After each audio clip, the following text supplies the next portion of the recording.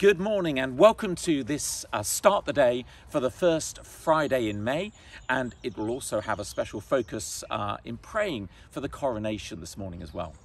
And as you can see, we have an addition to our Start the Day this morning. And we've had, um, when we had, when we did our Start the Day for March, um, we had many of our puppies um, having a good, good fun play behind us. And um, many of you have asked um, how, how they're doing. Um, a number of them went to locally and, and some further afield. So um, and we we've kept one, and this is this is Florrie, who I hope won't be too much of a distraction this morning. We we for certainly us for you. we understand for some of those who joined us two months ago, they were quite a distraction um, from uh, the psalm. But anyway, uh, I'm sure she'll jump down in a moment. But uh, we're we're going to be um, reading this morning Psalm 122, and uh, that's one of the psalms in our reading pattern for this week. And uh, so those who follow it will have already read the psalm earlier in the week. But it seemed really appropriate for the um, uh, praying for the coronation because it's a psalm that is, um, well, actually for 400 years, it's the first thing that's sung at the beginning of the coronation services. uh, the monarch arrives. Um, psalm 122 is sounded out, those wonderful words, I was glad when they said to me, Let us go to the house of the Lord. And for over 100 years, the uh, setting um, that many of you will know uh, of that psalm is, that's been sung is uh, Hubert Parry's I Was Glad. So we're going to read the psalm and then um, share a few thoughts on, on how it can inspire our prayers um, for the coronation and, and, and onwards. So we're going to read Psalm 122. I think we're going to start on- Shall I start? Yes. I rejoiced with those who said to me, Let us go to the house of the Lord.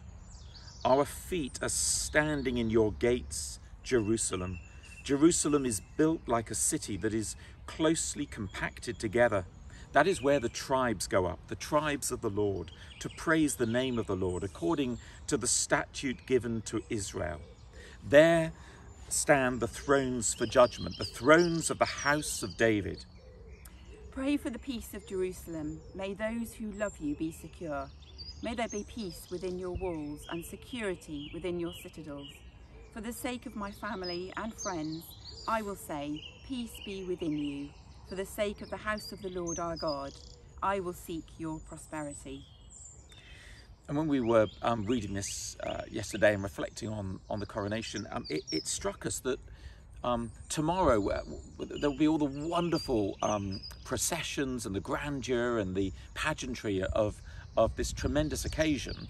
Um, but all of it is leading towards this moment um, where uh, of, of moving towards an act of worship. That's the, the center of the coronation tomorrow.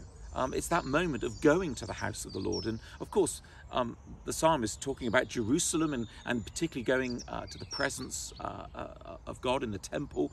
And, and of course, the Westminster Abbey, um, for all its beauty and uh, as, as a sacred place of prayer, doesn't represent the temple in Jerusalem, but what it does represent is a, is a place where the people of God, and particularly in our, our nation's life, have gone to pray, to worship, to put Jesus at the center of what's happening in sad times and and in some wonderfully happy times. And and, and tomorrow will be a, a time to to rejoice.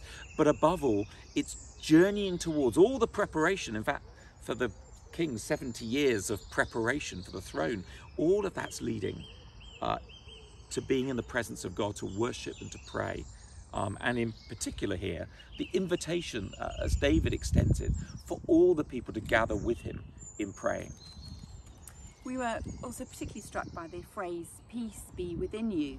And it reminded us that peace in the Bible is not just about the end of, end of wars um, or conflict, um, but the peace is a gift from God um, and that He puts in our hearts, um, giving us a deeper sense um, of what it is to be secure and content, um, whatever may be going on in our own lives and, and in the world. Um, and we really can have that peace inside, even when everything around um, is, is anything but peaceful, um, because of the presence of Jesus, um, who is always with us. And he, his love makes us uh, more secure than we can ever imagine.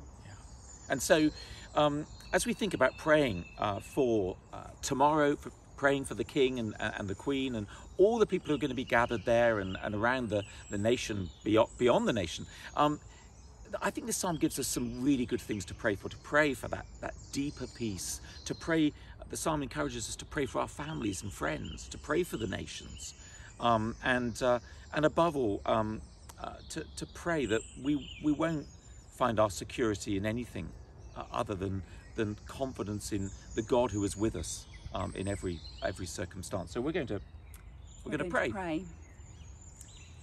Dear Lord, please put your peace deep within us that we may know how secure we are because of the presence of Jesus in our lives. Please bless our friends, our families, and all the royal family tomorrow and beyond. Lead us together into the peace of Christ through his love on the cross and the power of his resurrection from the dead, and all the glory of the King of all kings.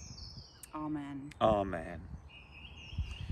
Well, uh, thank you for joining us uh, this morning, and uh, whatever you're doing over the weekend, and whoever you're spending uh, tomorrow with, as uh, it may be with with family or friends, or or with uh, people who live nearby, or maybe it will be a, a quiet day. But, but but hopefully we can all join together in praying for the life of our nation, to pray particularly for friends and family, and to pray for God's blessing on the King and the Queen tomorrow. So, whatever you're doing this weekend, may God bless you too.